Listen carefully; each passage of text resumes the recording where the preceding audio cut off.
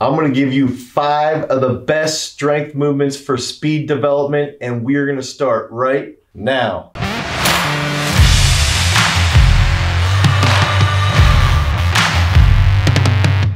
What's up everybody? I'm Dane Miller from Garage Strength and if this is your first time to the channel and you're interested in improving your explosiveness, gaining strength, and enhancing your athletic capability, make sure that you subscribe down below, you ring that notification bell, and you comment with what you are doing in training and how we can help you with your training endeavors. So for over the last 10 years, we have had over 450 NCAA athletes come through our doors. We've had NCAA athletes that have become All-Americans in nine different sports, and we've had multiple NCAA champions in three different sports. And so why have we been successful? You know, one of the things that we've been so good at here at Garage Strength is that we've understood how to utilize strength movements for speed. And if we can remember back to our sprinting based videos, what are those keys behind speed? We've got to understand that Rate of force development is one of those key elements. We have to understand that acceleration during the drive phase is extremely important and it's the second main factor. And that third element is being able to utilize maximum mechanics when you are running. So utilizing proper technique when you're accelerating and into that top end speed, you've got to be able to hold that technique at that high end speed. And so utilizing strength movements to achieve those three elements has been one of our fortes, and that's what we're gonna go into today with these five key strength movements.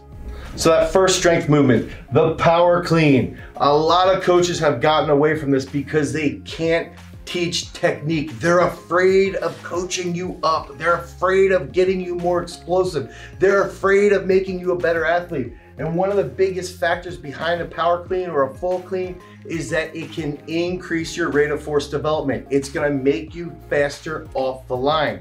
Your nervous system will be able to recruit high threshold motor units more rapidly so you will be able to get faster off that line. That first step's gonna be quicker. And on top of that, when you receive the bar, you're going to increase your trunk stability. You're going to improve your deceleration capability. And that's going to lead to a stronger trunk that is able to hold you more upright when you're running at top end speed. And it's also going to help you with agility. So utilize a power clean. I recommend doing three to four sets of three and maybe two sets of five, getting some rapid work in, and that's going to lead to some big gains with the power clean. So that second strength movement is the back squat. I love the back squat. I think it's phenomenal and I like doing back squats to the box.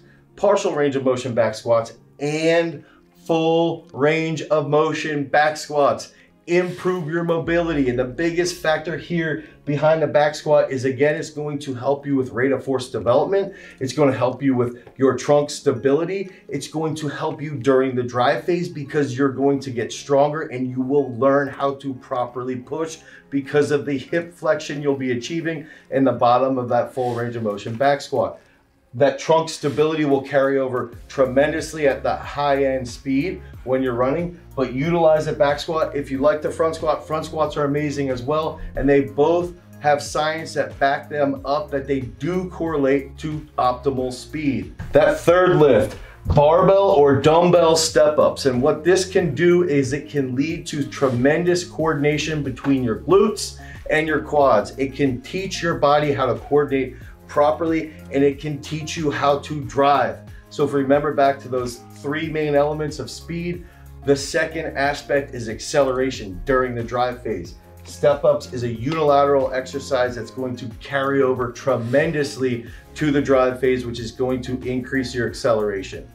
So that fourth exercise, one-legged squats. Some people call them Bulgarian single leg squats, but there's nothing Bulgarian about them.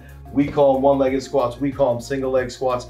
And we've had multiple world records. We've had guys single leg squat 500 plus pounds to a pad. We've had guys rep out 400 plus pounds. We've had some of the best running backs in high school, four and five star recruits who have been able to single leg 370 plus pounds for reps. And the reason why they are so fast when they're on the football field or when they're playing soccer or when they're playing lacrosse is because how often we utilize single leg squats. We do them at least twice a week because they target the glutes tremendously, they target the hamstrings very well, and they also increase your trunk stability. It can really, really improve your running mechanics and your mobility throughout your hips. You will lose less energy while you're running, and that's going to lead to more speed. So use those single leg squats twice a week. I would recommend going heavy once a week and going lighter that second training session but utilize them so that you can increase that top end speed.